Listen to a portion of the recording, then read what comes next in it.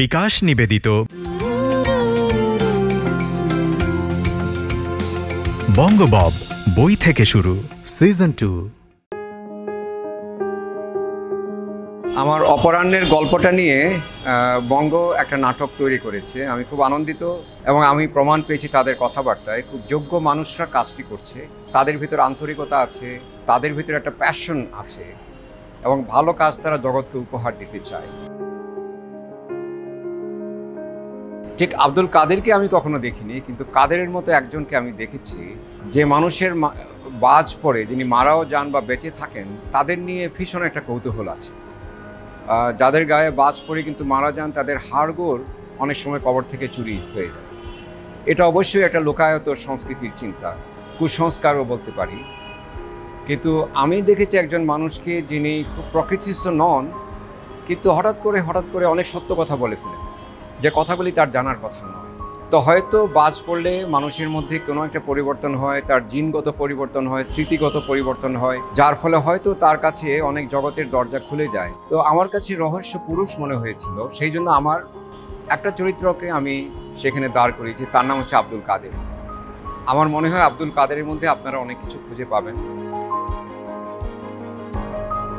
আমি যে ধরনের গল্প লিখি সেটি হচ্ছে আমাদের কথ্য সাহিত্যের উপর ভিত্তি করে।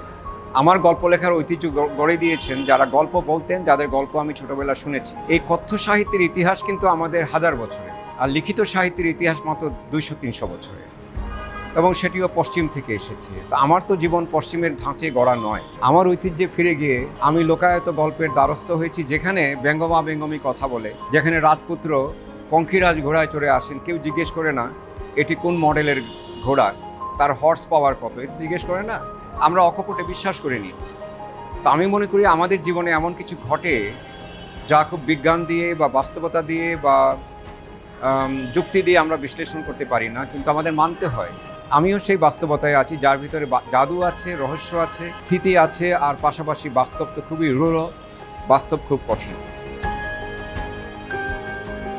তো আপনারা যখন বঙ্গের নির্মাণে আমার গল্পটি দেখবেন, আপনি অপরাহ্নের গল্প হিসেবে পাবেন না। নাম দিয়েছে এক অলৌকিক বিকেলের গল্প।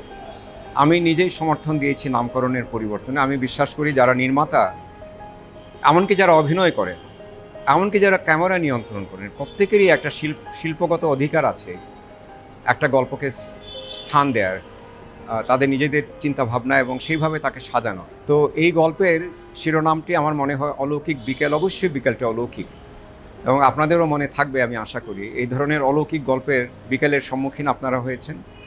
তো সেগুলিও আপনি নতুন করে ভাববেন সেই জন্য। তো আপনাদের সবাইকে অনুরোধ করব, আপনারা এক অলৌকিক বিকেলের গল্প দেখার জন্য বঙ্গতে চোখ রাখুন।